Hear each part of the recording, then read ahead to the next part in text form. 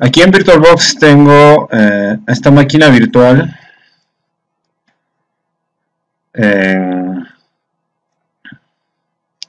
en 7.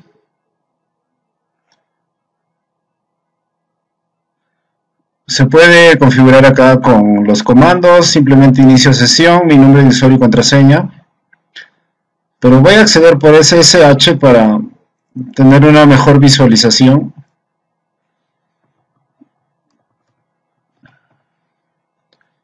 Simplemente pongo la dirección IP de mi servidor CentOS. Abrir, open. Por SSH voy a ingresar. Yes. Nombre de usuario y contraseña. Voy a acceder como administrador, superusuario, guion y la contraseña de superusuario o root. Bueno, hay que hacer una actualización de, los de la lista de repositorios con yam update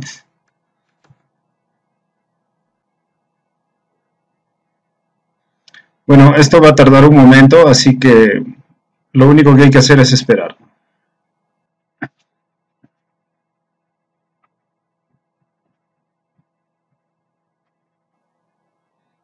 Bueno, yes para aceptar la Y.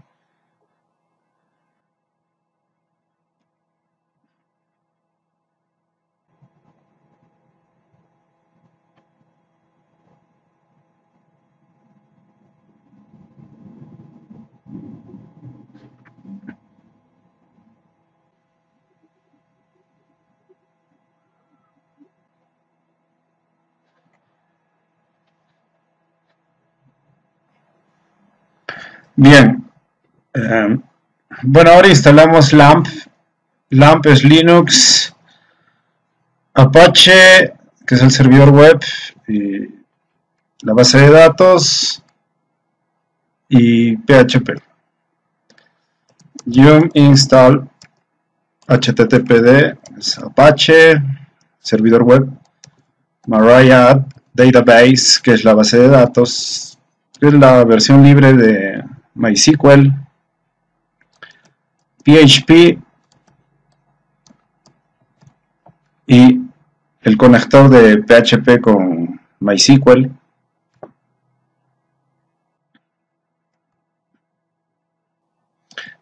Enter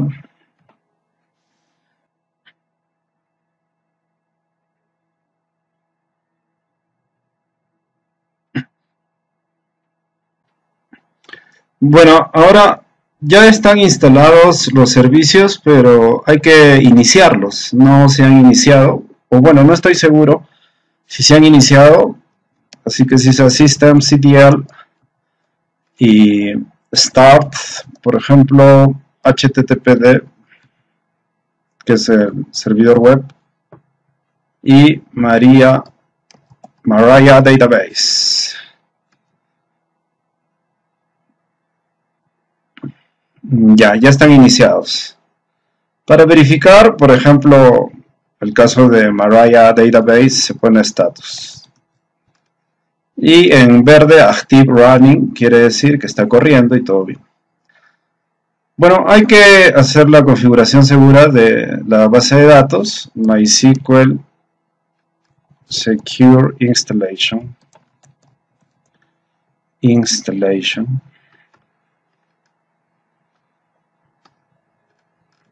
Bueno, eh, si es que existe un password, hay que ingresarlo acá, pero como recién lo hemos instalado, no se pone nada, se presiona simplemente Enter. Establecer una contraseña de, root. Sí, bueno, la base de datos necesita una contraseña de root.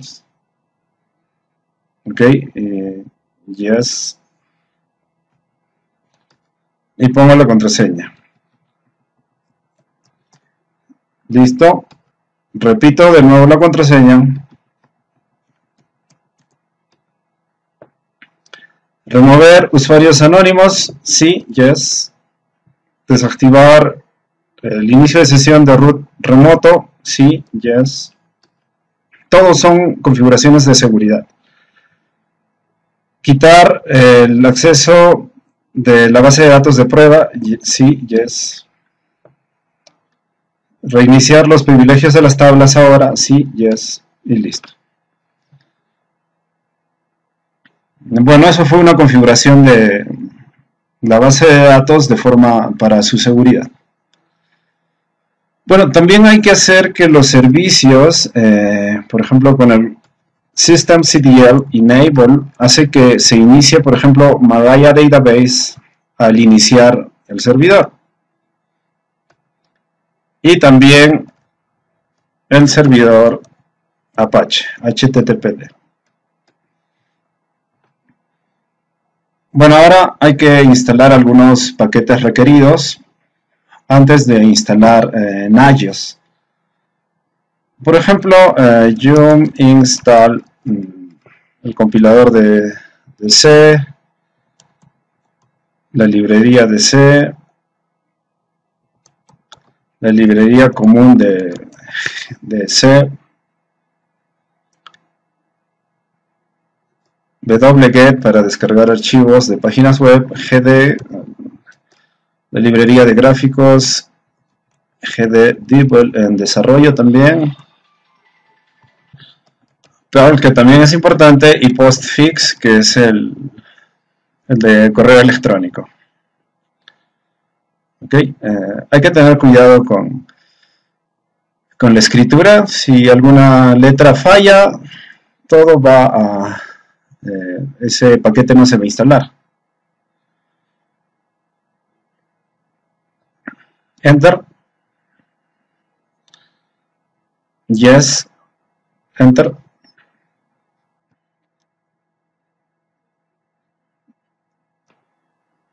Bueno, ahora sí eh, descargamos Najos y lo instalamos. Vamos a ingresar a cambiar el directorio al directorio TMP ¿Por qué ingreso al directorio TMP? Porque el directorio TMP cada vez que se reinicia el servidor, eh, TMP será, los contenidos de TMP serán borrados. Y bueno, voy a poner acá bastantes archivos temporales que, que no me van a servir y que serán borrados después de un reinicio. Pero la instalación va a permanecer en el sistema, así que no hay problema. Voy a descargar el con wget un archivo que que le vamos a llamar eh, nagios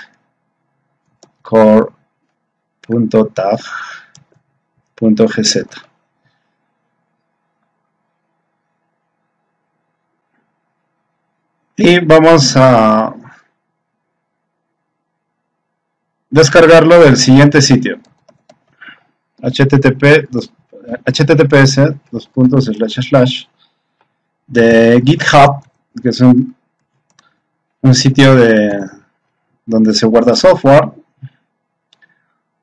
Nagios así con, con mayúscula enterprises Nagios Core Archive Nagios guion 4.4.2.tar.gz o sea en el sitio eh, web seguro github.com en el directorio Nagios Enterprises Nagios Core Archive está el archivo Nagios de la versión 442. Y el archivo es un archivo tar, eh, pero lo vamos a renombrar para mayor facilidad, se llamará, al descargar se llamará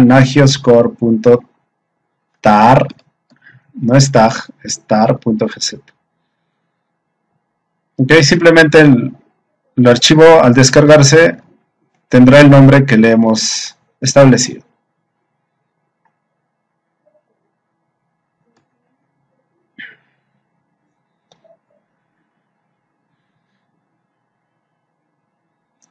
Listo. simplemente descomprimimos el archivo con la herramienta tar con las opciones xzf y el archivo se llama nagioscore.tar.gz el nombre que le habíamos denominado un nombre más fácil ¿no? enter. Si no salen errores todo está bien. Bueno ahora eh, listamos lo que existe aquí en este directorio temp. Ls y vamos a encontrar después de descomprimir este este archivo que hemos descargado aparece un directorio nagios core-nagios-4.4.2 este archivo es el que no es un archivo, es un directorio. Ingresemos a ese directorio. cd nagios. Bueno, para completar, eh, se presiona tab, guion, tab, y bueno, ya, ya completa a donde queremos ingresar. Enter. Bueno, tenemos que hacer el proceso de instalación. Entonces, antes de instalar, hacemos slash configure, que es eh, preparar los, el código fuente para el proceso de compilación.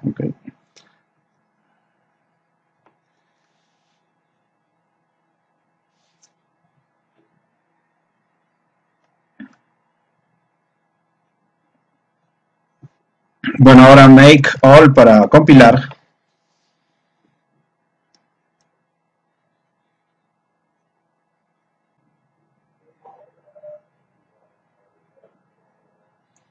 Perfecto. Aquí si, si sale enjoy es porque está bien. Pero antes, ya hemos compilado, pero antes de instalar hay que crear el, usuario, Najos, ¿ok? Eh, make install group users, con guiones, con guiones. Groups users en, plural. Make install guion groups guion users. Bueno hay que instalar el para crear el usuario de Najos perfecto ahí está. Se agregó el grupo Najos y el usuario Najos y el usuario Najos pertenece al grupo Najos perfecto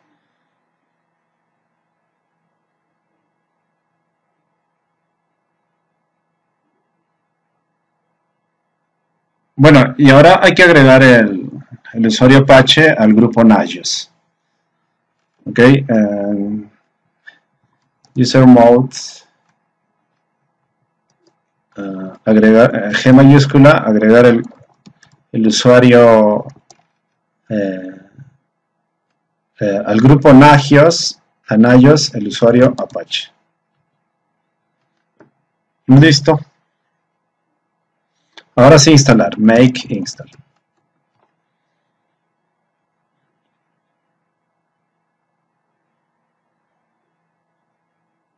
Bien, ya está.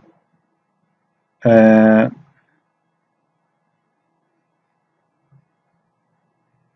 hay que también eh, instalar el script de inicialización, ¿ok?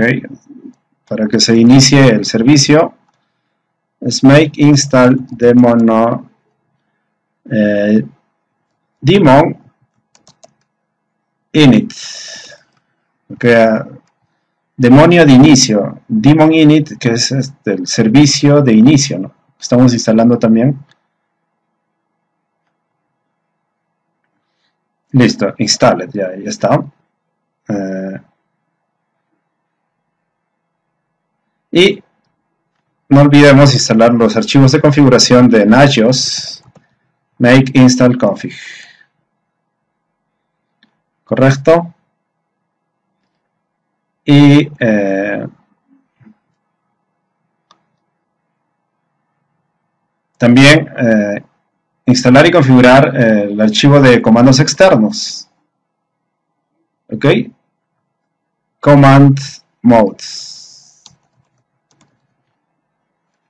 O el modo de comandos. Listo. También eh, instalar eh, webconf, los archivos de configuración para Apache, para el servicio web. Perfecto, webconf. Finalmente, reiniciar eh, Apache y, y, debe funcionar. Entonces, para eso voy a salir del, directorio.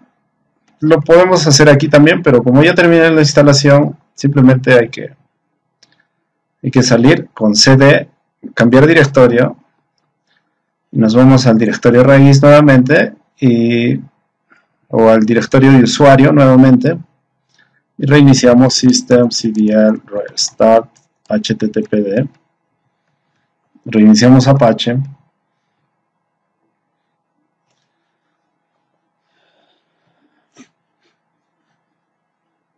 y una vez que hemos reiniciado apache eh, creamos la cuenta de usuario para acceder por web. Ok, para eso se pone htt, perdón, httpass wd, ht de servicio web y pass wd para el password. Y la opción C para crear un usuario en usr local nagios etc. Ht pass, presiona tab para, completar, eh, bueno, no completa, eh, pass wd.users, bueno, es un archivo donde vamos a crear el usuario admin, bueno, o el nombre que desee, pero admin en este caso. Y el nuevo, la nueva contraseña del, del usuario le ingresamos acá, enter y de nuevo enter. Listo, ya está. Es muy importante para iniciar sesión por web. Bueno, también hay que instalar los plugins de Nagios.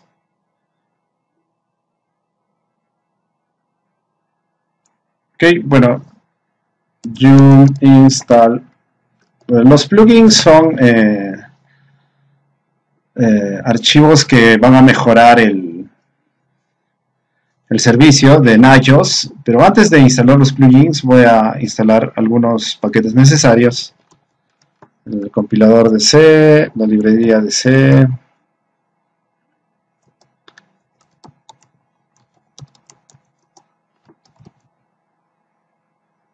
Eh, make get text automake autoconf que son herramientas para instalar para la instalación. Get. Open ssl para el cifrado si es que se necesitara. Y net-snmp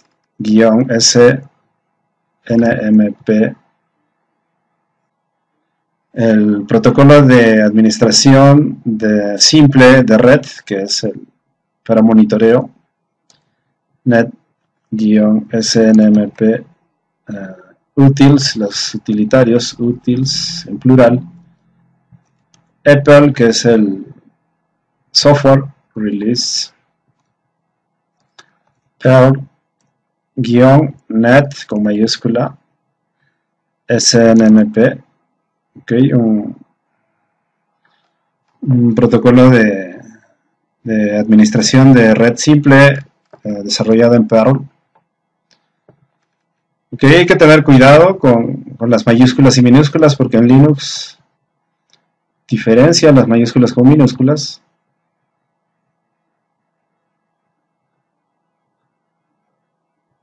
Make text automake autoconf. Uh, snmp netsmp utils perl release perl net snmp bueno los instalamos.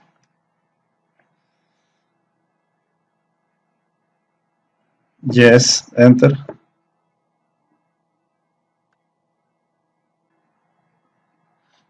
bien eh, ahora vuelvo a ingresar al directorio tmp y descargo allí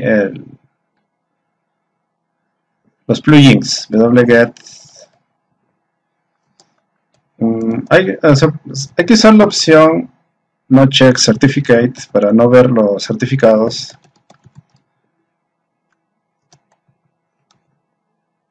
Eh, y la opción o para poner un nombre fácil, Najos-plugins.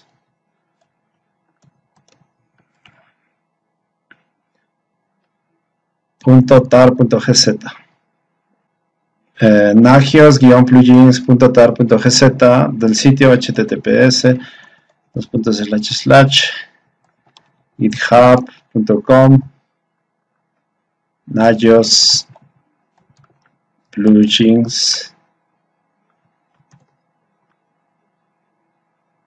nuevamente Nagios plugins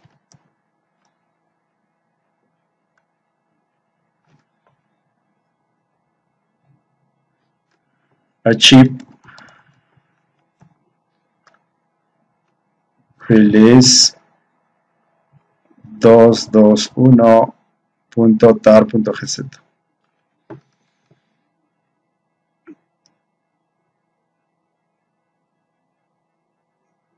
Y lo descargamos presionando Enter. Bien, listo. Ahora descomprimir porque es un... Ok. Eh, ZX eh, Najos guion plug plugins.tal.gz listo ya está bueno voy a listar los contenidos de este archivo tmp perdón de este directorio tmp y tenemos otro directorio Najos plugins release 221 y ingresamos allí cd Nagios tap eh, guion plu tap guion real tap y se completa. Bueno hay que instalarlos hay que hacer la preparar los archivos de tool setup. Eh, perdón es en plural tools setup. Hay que preparar los archivos antes de la de la compilación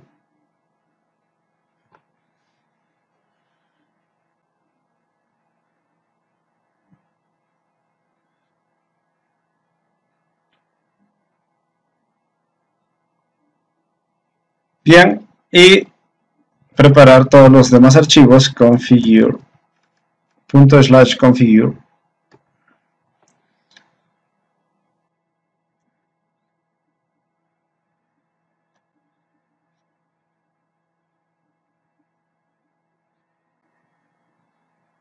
Bien, ahora compilar make.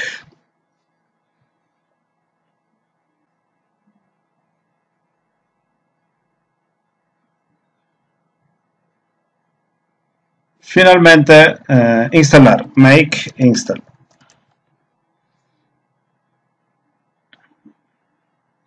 Listo. Bueno, hay que iniciar el servicio Nagios Voy a salir del directorio para regresar al directorio principal, al de usuario, cd system cdr start nagios. Que ya inicié el servicio y para verificar status nagios. Está en verde, active and running, quiere decir que todo está bien. Verifico acá, ¿no? IP address. Aquí está, 244 permitir el, el servicio web, el puerto 80, el servicio HTTP en el firewall de CentOS. CentOS por defecto tiene un firewall instalado, así que hay que usar el siguiente comando, firewall cmd add, agregar, service, servicio, HTTP, HTTP de forma permanente, permanente. Success. Hay que reiniciar firewall cmd reload, firewall, success y verificar con el comando list all. Bueno, este es opcional. Ahí está el servicio HTTP en servicios. Está permitido. Bueno, ahora sí, eh, en un cliente ponemos la IP del servidor 244. Funciona, pero está en el directorio Nayos. Y me, pide el nombre de usuario. Recuerden el nombre de usuario que que hemos creado antes Nagios admin y la contraseña y funciona correctamente. En aquí en hosts es donde debe aparecer los hosts que estamos monitoreando. El único que aparece es el localhost, el monitoreo del servidor propiamente dicho. Ok, de, de mí mismo. Así que hay que agregar un cliente aquí, un cliente Windows o un cliente Linux. ¿Ok?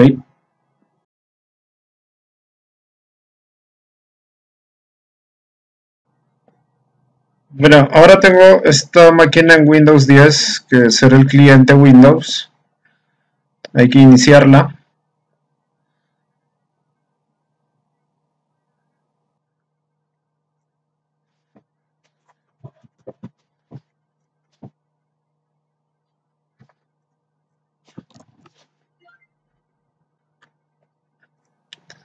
Bueno, hay que verificar su configuración IP que esté bien. ipconfig. Y bueno, que le haga ping al, servidor. Perdón. 244. Éxito. Bueno, ese es un requisito mínimo que, el cliente le haga ping al servidor, pero eh, si revisamos el firewall,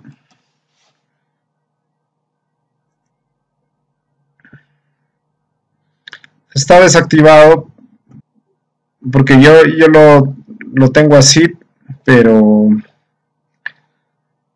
si estuviera activado al instalar el cliente el cliente de Nagios eh, automáticamente se crea una entrada de, del cliente Nagios para que sea una excepción en el firewall Así que si lo tienes desactivado o no, no hay ningún problema.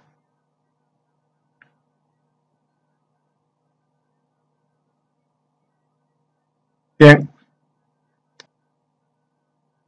Hay que descargar el cliente.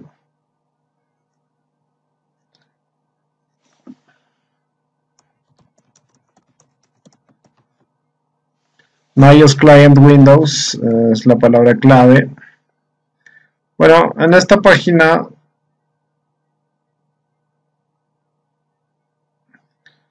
eh, nsclient.org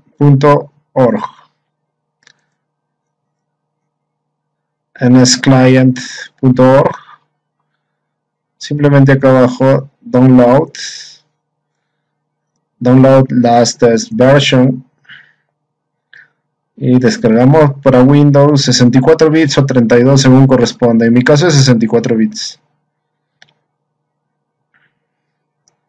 Se realiza la descarga aquí abajo.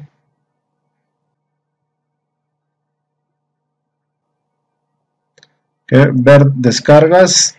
Aquí está. Ok. Aquí en descargas está, ¿no? Este de acá, NSSP. Ejecutamos esto, es el cliente para Nagios. NS Client. Elegimos genérico típico.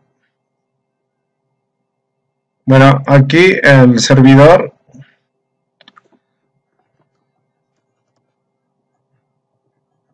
...244... Sin contraseña... Eh, activamos plugins, el servidor, usamos la opción de insegura en el modo legacy.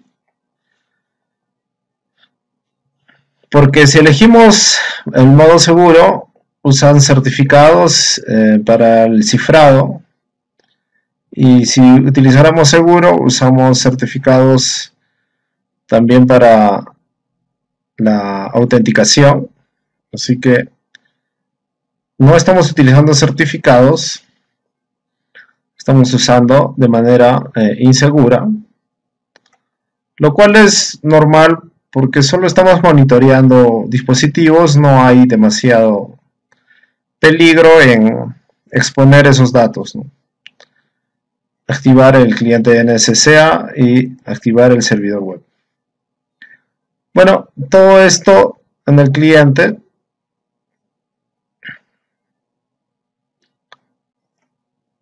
a instalar.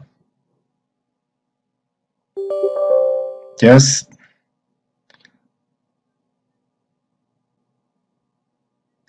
Finish. Bueno, eh, eso es suficiente para, para el cliente.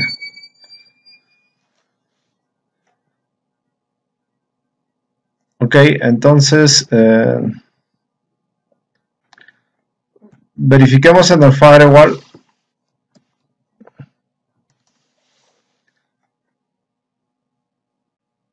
el estado del firewall que está desactivado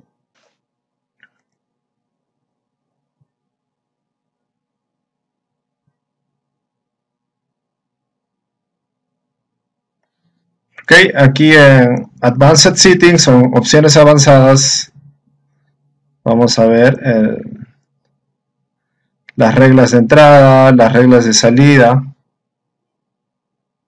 por ejemplo, en las reglas de entrada ya tienes el, que se permite en ese client que funcione. Así que si activas el firewall, el firewall no va a bloquear porque ya tiene el, cliente como una excepción y está permitido. ¿Ok?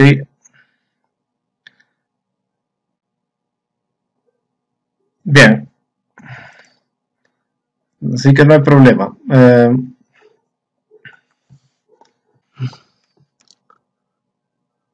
cambiar directorio a eh, usr local najos etsy objects ok y listar lo que hay allí adentro tenemos estos eh, archivos CFG. Mm. Aquí se crean los clientes Windows, windows.cfg. Entonces, eh, hay que usar, por ejemplo, Vim para editar ese archivo. Ok. Eh, bueno, voy a mostrar el número de líneas eh, con set number para que sepamos en qué líneas estamos editando. Dos puntos, set number. Y aparecen los números de línea. Ahora presiono la tecla I para insertar. Acá abajo se ve que estamos en el modo insertar. Y bueno, acá simplemente hay que... Eh,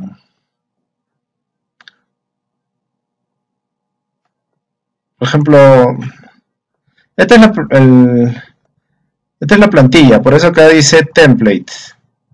Acá dice template. Esta es la plantilla que no, se debe modificar.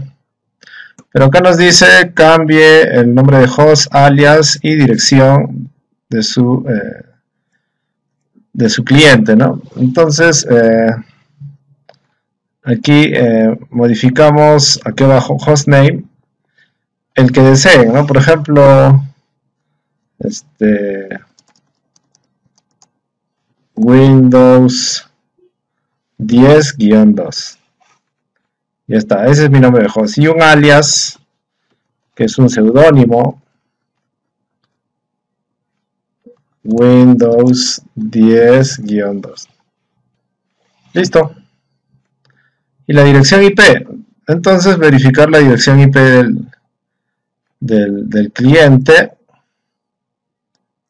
El cliente tiene esta dirección 77. Y por eso aquí 77. Y listo ya.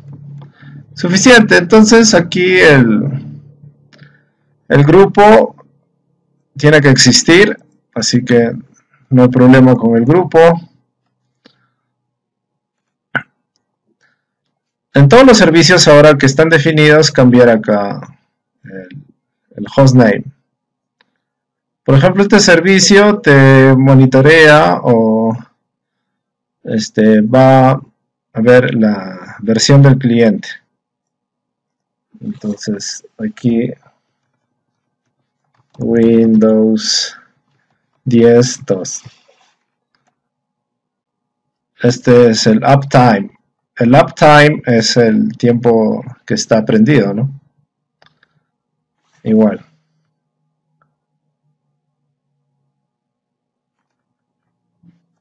Windows 10-2.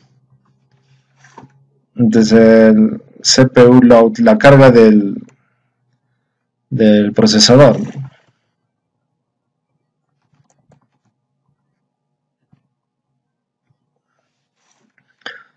Si está en 80%, te hace una advertencia y es crítico si está en 90%. Igual, eh, uso de memoria. Advertencia en 80%, crítico en 90%. Pero hay que poner el nombre. Windows 10.2. Eh, disk space, el espacio en disco, de la misma forma. Ah, perdón, arriba. Tiene que ser con mayúscula. Aquí. Ok. Porque así lo he creado ¿no? con mayúscula al inicio W3 SBC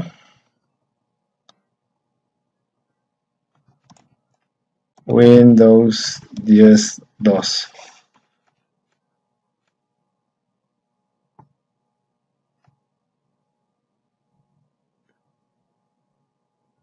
Finalmente, el estado de algún proceso. Como ejemplo, aquí eh, monitorea el, proceso explorer.exe. Puede ser cualquier otro proceso, solo hay que cambiar aquí el nombre del proceso. Pero, o agregar más procesos. Solamente vamos a probar con este proceso Windows 10.2. Y bueno, ahí está. Ese es mi cliente. Y escape, dos puntos, WQ, write and quit, escribir y salir. Pero hay que regresar con CD a la raíz, al archivo de usuario, con CD y nos tenemos que ubicar en en este directorio. cd, cambiar directorio usr, local, nagios, etc. Y acá listar, configurar este archivo nagios.config. Bueno, voy a usar vim nagios.cfg. Voy a mostrar los números, dos puntos set number. Y aquí abajo eh, en esta línea eh, voy a presionar la tecla I para insertar y me doy cuenta que este archivo Windows FG está comentado, no es parte del archivo de configuración principal, así que hay que agregarlo. Simplemente quitar el comentario acá, el numeral de acá, y ya el archivo Windows FG donde hemos creado el cliente Windows es parte del archivo de configuración de Nagios. Así que eso es suficiente. ¿no? Si no hacemos esto, todo lo que hacemos en Windows FG se ignora. Así que escape, dos puntos, WQ. Bueno, ya está. Bueno, ahora hay que... Bueno, salimos al, directorio de usuario, CD, y reiniciamos Nagios, ¿no? System, ctl, restart, Nagios. Si no sale ningún error es que todo está bien, podemos verificar el estado, status, está en verde, active and running, corriendo. Bueno, eso quiere decir que, que ya está, ¿no? Bueno,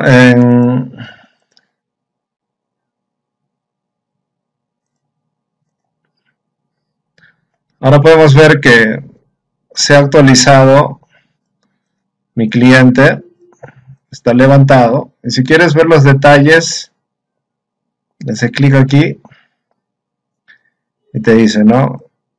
Mm, chequeos activos, pasivos y otras, este, todo está activado. Entonces aquí hay opciones como status detail, o sea, de, detalle del estado. Y todavía está pendiente porque, porque hay que esperar un momento a que, a que sincronice, ¿no? Está pendiente, ¿no? Por ejemplo, ponemos actualizar host, entramos al detalle y vemos los detalles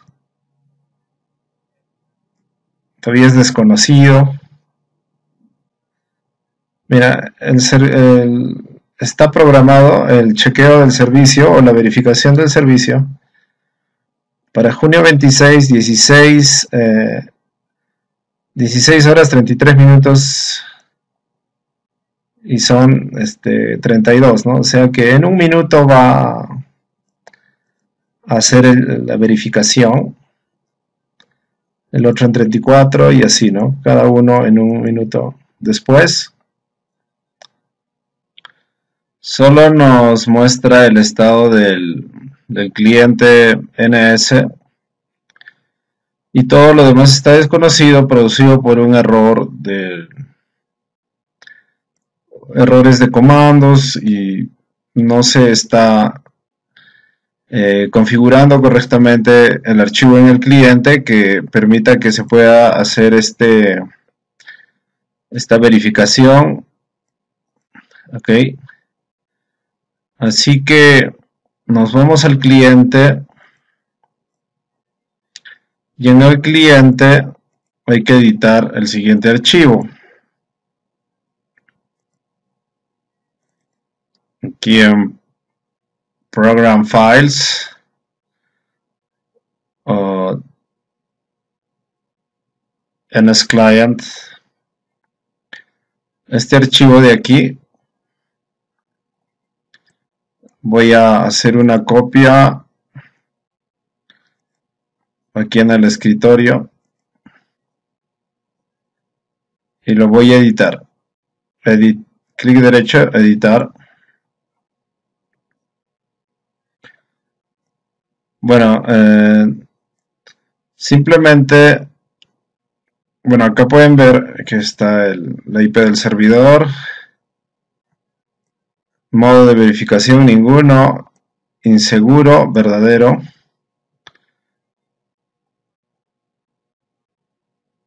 Y verificar scripts externos, eh, activar con enable.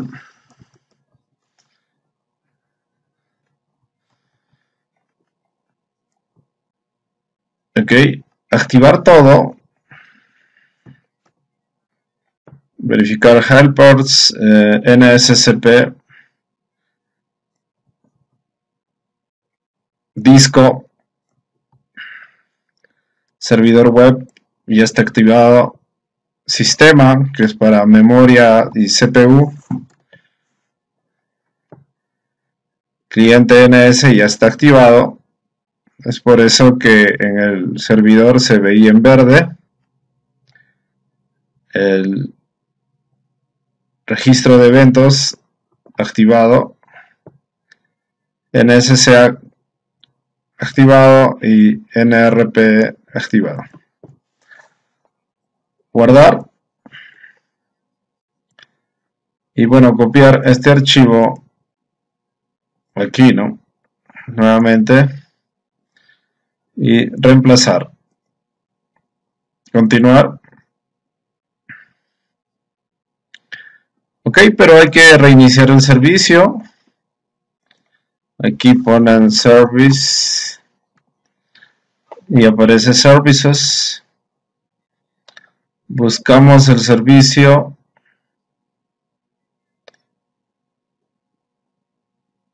en la lista, en la N, NS Client y reiniciar. Bueno, una vez que se ha reiniciado, podemos ir al, servidor y bueno, esperar a que a que se actualice esto. Y por ejemplo ya se actualizaron algunos, el uso de memoria y el Explorer. Bueno, este es el proceso Explorer que estamos revisando está en crítico porque no está corriendo. Pero esto no significa que no esté conectando. Ya está conectando, pero nos da una, un mensaje de que está en crítico porque no se está usando Explorer. Y bueno, hay que simplemente esperar para que aparezcan los demás.